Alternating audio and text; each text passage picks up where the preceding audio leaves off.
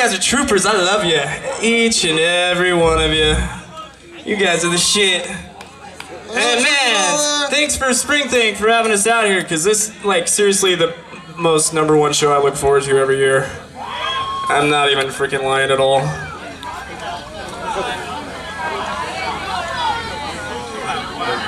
Hey, I ain't entitled. I just speak the truth, you know what I mean?